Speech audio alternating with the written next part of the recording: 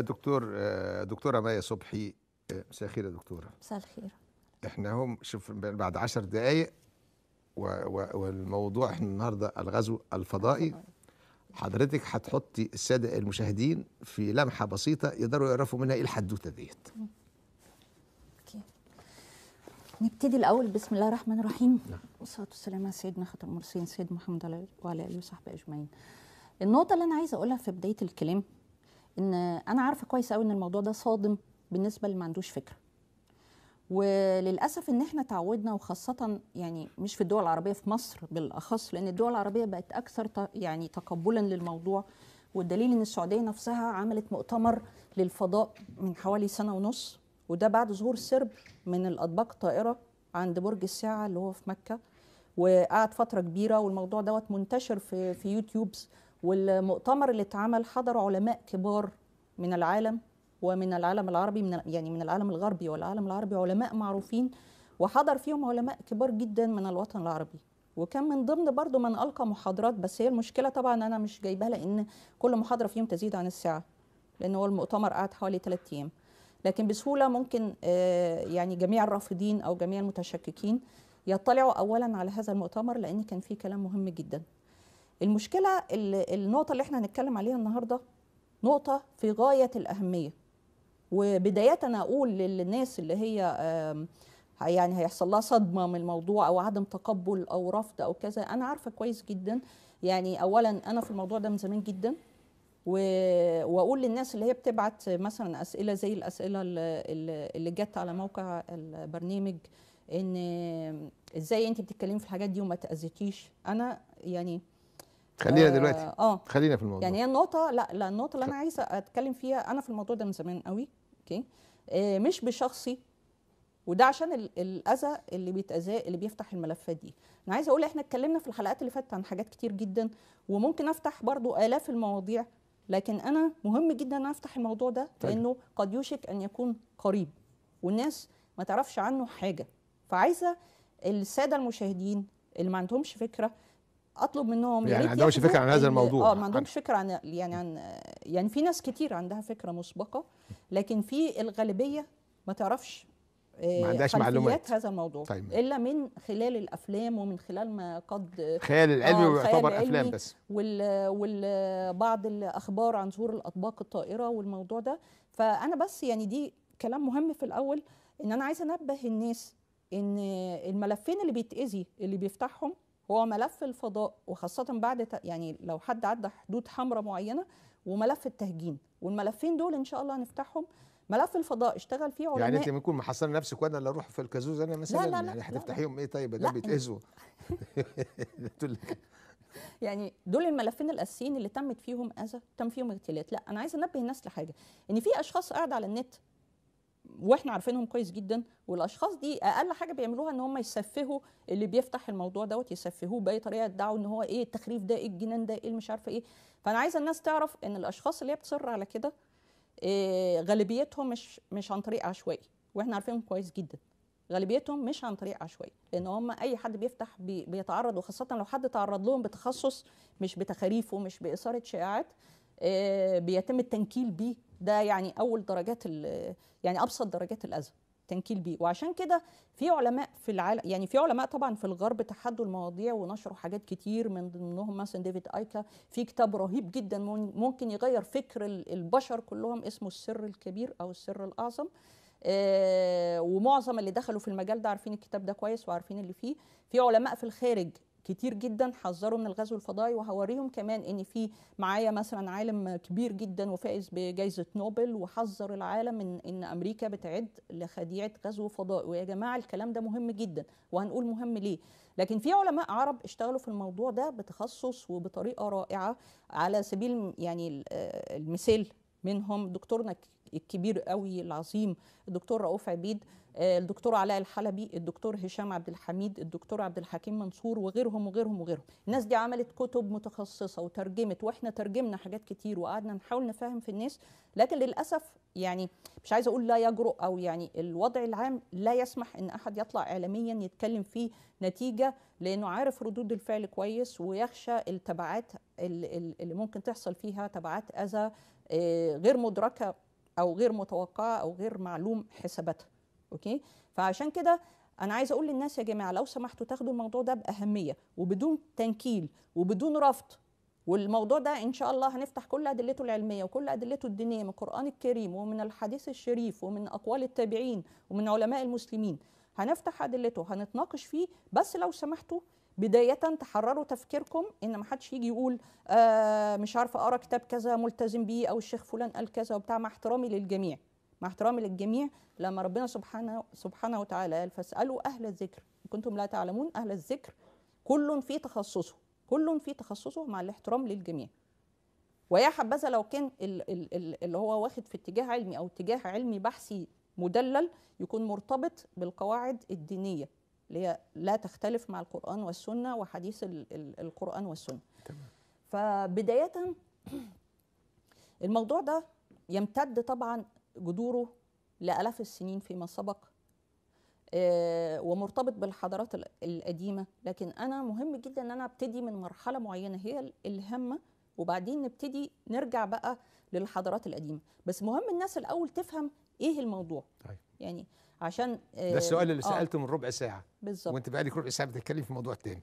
أيوه قولي بقى أنا خلاص. بنبه الناس عشان طيب يلا خلاص نقول بقى. فالنقطة إن أنا عايزة أبتدي لهم من فترة في بداية القرن ال 19 من ألمانيا وقبل ظهور النازية.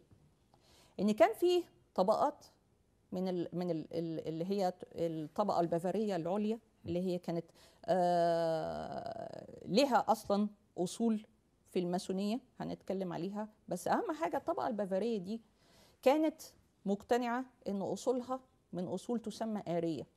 والجلد والجنس الآري ده هنتكلم عنه إن الجنس الآري ده جنس جوف أرضي. وهنفتح بعد كده بعد ما نتكلم عنهم موضوع أرضنا المجوفة وموضوع أجناس جوف الأرض وما حقيقتها بالتفصيل. النقطة إن مجموعة آه، الطبقة البافارية دي كونت مجموعة ذات طابع عنصري شيطاني. يعني هي كانت إيه كانت هي أساسا من عبدة الشيطان. بس كونت آه، مجموعة سميتها مجموعة فيريل. مجموعة فيريل دي جمعت. فيه- فيريل. فيريل. فيريل. آه. مجموعة فيريل.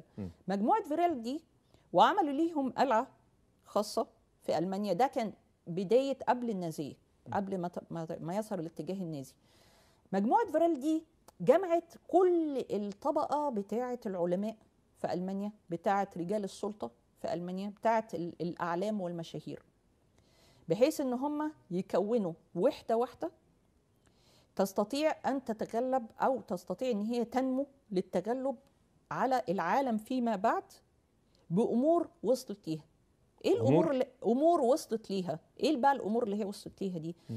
الطبقة دي بترجع أصولها للقرن السابع عشر م. تتبعوا حاجات مهمة جدا خلال بعثاتهم وكان في علماء لهم بعثات وكده تتبعوا إن في آثار لكائنات أكثر منا تطورا. وخاصة إن كان في أصلا آه، مركبة فضائية وجدوها في القرن ال 17 بالتحديد في عام 1712 في منطقة في منطقة اللي هي تسمى دلوقتي أفغانستان في آسيا. فلقوا مركبة فضائية قديمة هم ما كانوش يعرفوا دي إيه طبعا وبعدين لقوا بعض اثار ولقوا حاجات في أفريقيا المهم الطبقة دي قعدت تتتبع المشاهدات ديت وفي نفس الوقت قعدت تحاول توصل لمين أصحاب ال- الحضارة ال- دي. الحضارات دي م.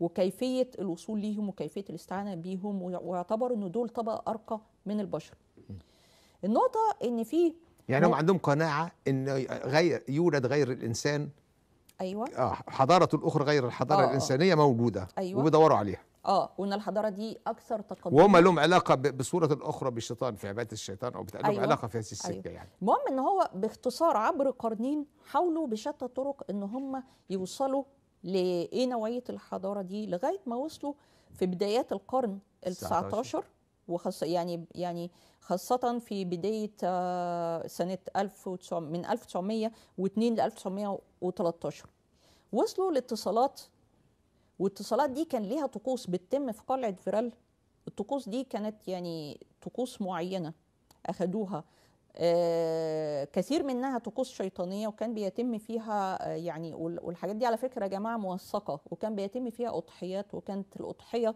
من الأطفال وبتقتل بطريقة معينة في الصدر. آه، المهم إن هم توصلوا. لإن هم يعملوا اتصالات مع كائنات جوف أرضية والموضوع كائنات الجوف الارضيه هنفتحه بالتفصيل. آه، ابتدى الموضوع ده يتدرج لغاية ما وصلوا لنوعية الكائنات اللي إحنا هنتكلم عليها اللي هي ما يدعى بالجريز أو الرماديين. وهنعرف مين هم الرماديين دول بالظبط. آه، الرماديين هم اللي, اللي حاولوا لما لقوا الطبقة البافاريه دي مجتمع حاولوا إن هم بعد الاتصالات اللي حصلت وهنشوف على فكرة كل الوثائق ديت وكل الخرائط وكل ال- ال- التقنيات اللي بعد كده خدوها بال- بالمساعدة مع ال- ال- اللي هم ال Greys أو الرماديين وهنعرف مين هم ال Greys أو الرماديين بس هي النقطة إن المجموعة ديت آه، أسست ما يسمى بعد كده بالنازية وتم اختيار هتلر على فكرة بناء على طقوس برضو ما كانش اختيار مثلا عشوائي تم اختيار هتلر والتعاون اللي تم بين الرماديين وبين المجموعة البافارية دي أو مجموعة فرال تم بناء على إن هم يملكوا سلط سلطة العالم أو يستولوا على العالم من خلال ألمانيا. المهم ابتدى بعد كده الكلام ده طبعا أنا عارفة يعني بداية أنا قلت الكلام ده في البداية الكلام ده ممكن يعتبر صادم بالنسبة للناس بس الكلام ده هو ما الحقيقة نقعدش نعمل لغه الحقيقة اعتراضيه اللي على يلا الناس وهنشوف وثائق. يلا بس عشان ما ما تقطعيش الكلام لا عشان في ناس هتقعد تقول مثلا مالكيش دعوة بيهم ربنا. يسامحهم آه ابتداء من عام آه 33 1933 ابتدت ألمانيا تنفذ كثير من التقنيات اللي تم تبادلها مع الجريش دول أو الرماديين. كان من ضمنها أو كان من نتائجها إن ألمانيا سبقت العالم في الفترة دي بما يعادل 100 سنة قدام. يعني وصلوا لنظام صاروخي متطور وصلوا ل... ل... حتى طيارات بدون طيار على فكرة كانت كانت لدى كانت لدى ألمانيا. وهنعرف ليه تم الحجب على الحاجات دي وصلوا بقى تدرجوا تدرجوا تدرجوا لغاية ما وصلوا لتقنية الأطباق الطائرة من الكائنات ديت واللي اشتغل على المشروع ده علماء كبار عظماء كان منهم عالم كبير جدا اسمه فيكتور شوبرجر. فيكتور شوبرجر قعد فترة طويلة عشان يفهم إيه تقنية الأطباق الطائرة وتقنية الأطباق الطائرة مش حاجة يعني إيه اللي هي مستحيلة أو كده. هي مجرد معرفة فكرة إزاي إن أنت مع الحجم دوت يعني إيه نوعية ال- التركيب نفسه نوعية المعادن نوعية الموتور نفسه. والموتور دلوقتي إحنا يعني بعد طبعا ما ظهرت الوثائق ديت والحاجات الجديدة اللي هنتكلم عليها الموضوع بسيط جدا الموضوع مش مستحيل لكن هي تقنية تعتمد على الأفكار. ليه؟ على الفكرة نفسها آه الفكرة نفسها في تكوين في, في تكوين محرك الطبق الطائر وكيف يستطيع هذا الطبق الطائر إن هو يسير بسرعة مثلا تتعدى 3000 كيلو في الثانية وإن ما يحصلش 3000 كيلو في الثانية يعني إيه؟ أيوه في الثانية؟ أيوه أيوه طيب. الأطباق الطائرة آه، بتتعدى ال- السرعة ديت زائد إن هي آه، هنفصل كل الكلام ده زائد إن هي تقنية التخفي إزاي بتاعة الأطباق الطائرة. آه، طبعا إحنا بالنسبة مثلا عندنا مشكلة في طائراتنا النفاثة اللي هو آه، آه، العزم مثلا الخارجي مع العزم الداخلي اللي هو بيمثل أو بي بي بيبقى بيدلل عليه بال G مثلا. هتبص تلاقي مثلا طائرات النفاثة الحربية آه، بتعاني من المشكلة ديت إن إحنا عندنا آه، فرق مثلا كل موديل عن التاني اللي هو مثلا ده بيستحمل لغاية G 4 ده بيست- بيستحمل لغايه G 6 اللي هي العزم الداخلي على جسم الطيارة.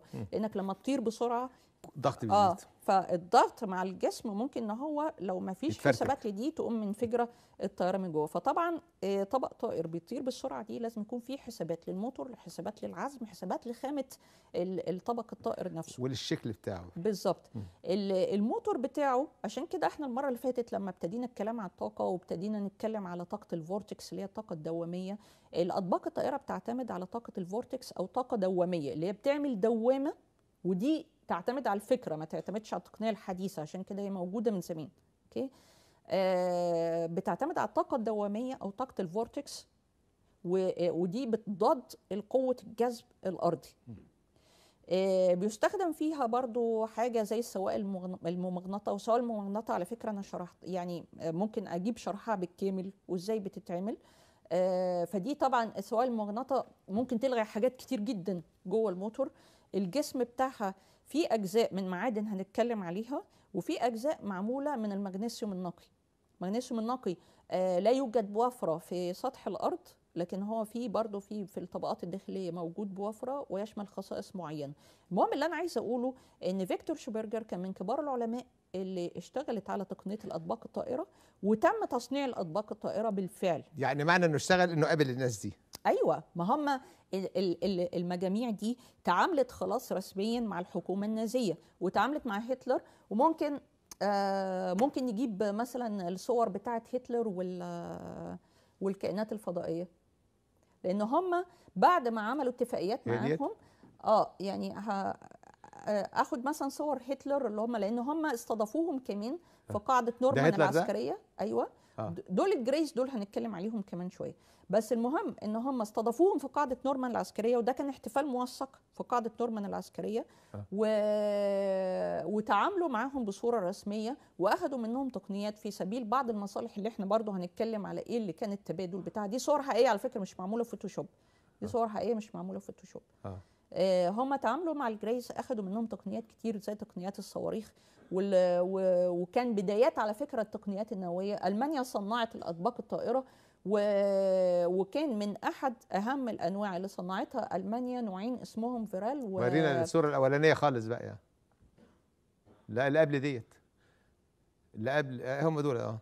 في في في كمان صورة آه يعني هنيبو هنيبو فيرال كان في فيرال 1 وفيرال 2 كان في كذا موديل من فيرال دي الأطباق دي مش ما خدوهاش منهم دي ألمانيا صنعتها. صنعتها. صنعتها قبل نهاية الحرب العالمية الثانية ما لحقوش يستخدموها. آه وهنشوف يعني أنا نفسي إيه إن إحنا بعد ما نخلص. يعني أنا عايزة أشرح للناس مواضيع وبعدين هنشوف فيديوهات بقى فيها كل الوثائق هنشوف استخدام الأطباق ال- النازية في نهاية الحرب العالمية الثانية وعلى فكرة دي كمان موثقة بمقالات ال... ال... ال- المقالات الأمريكية الرسمية إن هم استخدموا حتى كانوا مسمينها إن هي آه، آلة حربية كأنها كرات من النار لانهم ما كانوش يعرفوا يعني إيه أطباق طائرة م. ألمانيا استخدمت الأطباق ال- الأطباق الطائرة في نهاية الحرب العالمية الثانية.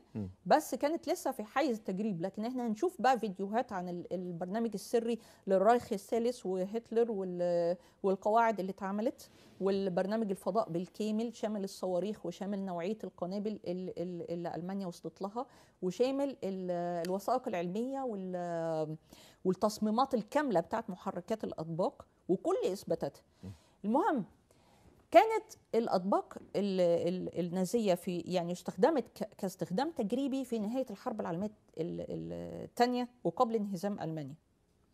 ما كانتش لسه استخدمت كآلة دفاعية بالقدر الكافي. لكن اللي حصل إن ألمانيا اتهزمت. أول حاجة عملتها حكومات الحلفاء وبقيادة أمريكا بالذات وروسيا بالذات إن هم راحوا واخدين كل ده بعد هزيمة ألمانيا. آه بعد هزيمة ألمانيا. أول حاجة عملوها هو اخذوا كل ما يتعلق بالبرنامج السري الفضائي النازي. واتعملت عملية عسكرية مشتركة بين أمريكا وبين المخابرات الروسية اسمها Paperclip العملية دي آه، كانت بتتبع لأن البرنامج الفضائي النازي ده كان شغال فيه يعني كم من العلماء طبعا على قمتهم علماء معينين منهم زي ما قلنا فيكتور شبرجر وبس تحتيه آلاف من العاملين. عملية Paperclip دي كانت من أحد العمليات اللي وظف فيها الآلاف من المخابرات تابعين المخابرات الأمريكية والمخابرات ال- ال- الروسية بتتبع كل من عمل في في في البرنامج ال- الفضائي الألماني وأخدوا يعني كانوا بياخدوهم بالعافية لدرجة إن هم يعني يعني فيكتور شوبرجر ما كانش موافق على التعاون معاهم وتم خطفه وتم عزله كمان. آه، اخذوا الآلاف من العلماء ومن كان يهرب منهم كان يقتل.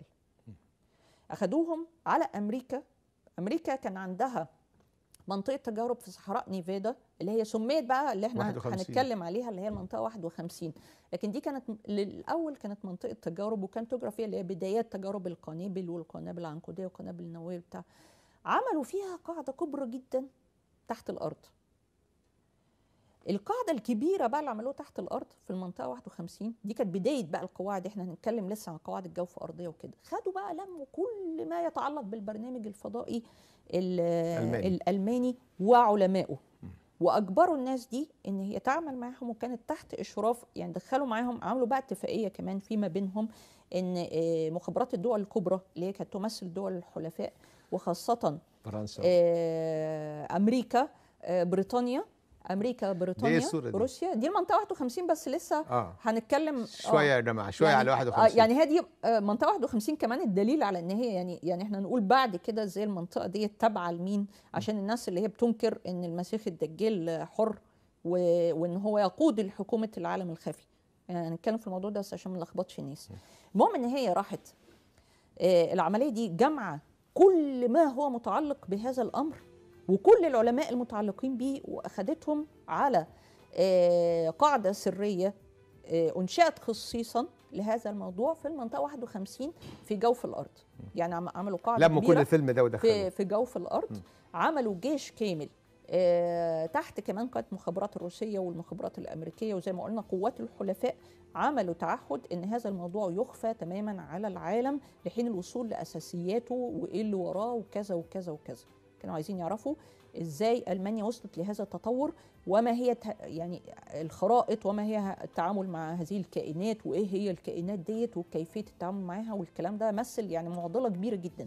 فتم إخفاء هذا عن العالم هذا الأمر عن العالم عمدا ان تم أخذ الوثائق ديت خبوا آه، عنهم آه يعني. خبوا الحاجات ولا. حد ولا حد عرف في العالم حاجة عن آه، أي حاجة. كانت كانت الأمور دي نكمل بعد الفصل آه أوكي